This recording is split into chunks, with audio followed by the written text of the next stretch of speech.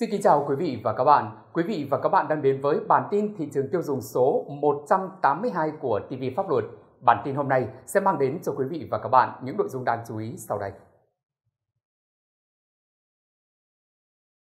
Địa đạo Củ Chi mở thêm tour trăng chiến khu vào tháng 4.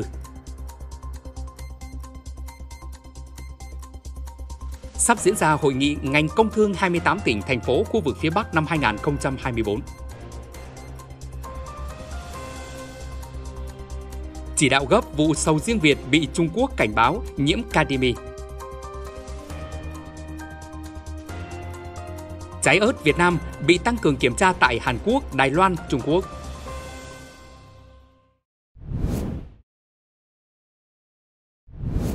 Kính thưa quý vị và các bạn, khu di tích lịch sử địa đạo Củ Chi mới đây vừa đưa ra thông báo sẽ mở thêm tour trăng chiến khu vào tháng 4 để phục vụ nhu cầu du khách trong và ngoài nước đến tham quan, nhất là trong dịp nghỉ lễ sắp tới. Trước đó, vào tối ngày 18 tháng 3, khu di tích lịch sử địa đạo Củ Chi, huyện Củ Chi, thành phố Hồ Chí Minh đã đón đoàn khách đầu tiên tham quan chương trình tour ban đêm tại khu tái hiện vùng giải phóng với chủ đề Trăng Chiến Cô. Chương trình lấy bối cảnh của ấp Phú Hiệp, xã Phú Mỹ Hưng giai đoạn 1961-1964. Mỗi tour diễn ra từ 18 giờ đến 20 giờ 40 phút.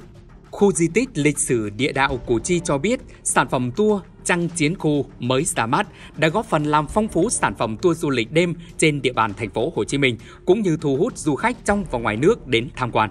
Theo đó, hiện có hàng chục đoàn khách đã đăng ký tour Trăng Chiến Khu dịp cuối tháng 3 cũng như kỳ nghỉ lễ 30 tháng 4 và 1 tháng 5 này. Trong tháng 4, tour này sẽ được tổ chức trong 3 ngày, ngày 12, ngày 19 và ngày 26 tháng 4 với giá vé là 399.000 đồng trên một người. Du khách mua vé thông qua nhiều hình thức như trực tuyến trên các trang mạng xã hội của địa đạo Củ Chi hoặc mua trực tiếp tại quầy bán vé của địa đạo Củ Chi hay trên trang Ticketbox hoặc thông qua công ty lữ hành. Được biết, để thu hút và đáp ứng nhu cầu của du khách, trong thời gian qua, địa đạo Củ Chi đã có nhiều đầu tư nâng cấp cơ sở vật chất. Đặc biệt, đơn vị đã đưa vào sử dụng bảo tàng tương tác thông minh và hệ thống thuyết minh tự động trong vùng giải phóng, giúp cho du khách có thể dễ dàng hơn trong việc tra cứu thông tin và tạo điều kiện thuận lợi trong quá trình tham quan.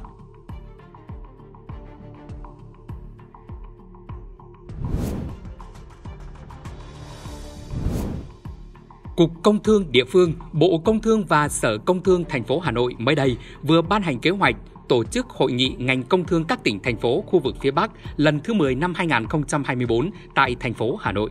Hội nghị được tổ chức nhằm đánh giá kết quả thực hiện nhiệm vụ quản lý nhà nước về công thương năm 2023, 6 tháng đầu năm 2024 và các giải pháp thực hiện kế hoạch ngành công thương năm 2024 của Sở Công Thương 28 tỉnh thành phố. Hội nghị cũng thảo luận các vấn đề còn vướng mắc trong công tác quản lý nhà nước về công thương, đề xuất các cơ chế, giải pháp phù hợp, hiệu quả nhằm tháo gỡ các khó khăn vướng mắc, thúc đẩy liên kết hợp tác phát triển ngành công thương giữa các địa phương trong thời gian tới.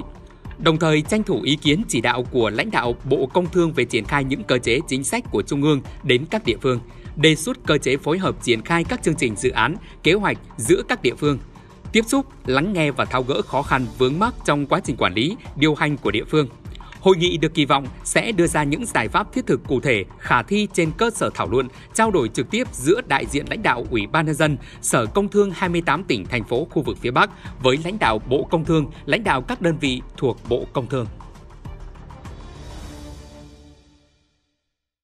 Kính thưa quý vị, vụ kiểm dịch động thực vật Tổng cục Hải quan Trung Quốc gọi tắt là GACC vừa có thông tin cảnh báo đối với 30 lô hàng sầu riêng Việt Nam xuất khẩu sang Trung Quốc. Theo đó, lô hàng này nhiễm kim loại nặng cadmium vượt mức giới hạn quy định sở tại về an toàn thực phẩm.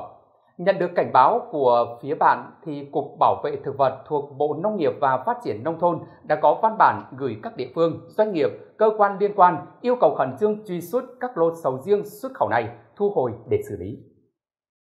Theo đó, các doanh nghiệp phải điều tra nguyên nhân, ra soát toàn bộ hồ sơ quy trình sản xuất, thu gom, xuất khẩu của doanh nghiệp để áp dụng các biện pháp ngăn chặn tái diễn. Toàn bộ kết quả gửi về Cục Bảo vệ Thực vật trước ngày 1 tháng 4. Sở An toàn thực phẩm thành phố Hồ Chí Minh, Sở Nông nghiệp và Phát triển nông thôn các tỉnh Tiền Giang, Lạng Sơn, Đồng Nai, Đắk Lắk và Hà Nội cần chỉ đạo các cơ quan chuyên môn đôn đốc giám sát các doanh nghiệp thực hiện truy xuất các lô hàng bị cảnh báo. Cùng với đó, thẩm tra báo cáo về nguyên nhân lô hàng bị cảnh báo và biện pháp khắc phục của doanh nghiệp, ra soát điều kiện bảo đảm an toàn thực phẩm tại các cơ sở sản xuất kinh doanh thực phẩm có lô hàng bị cảnh báo theo quy định của pháp luật.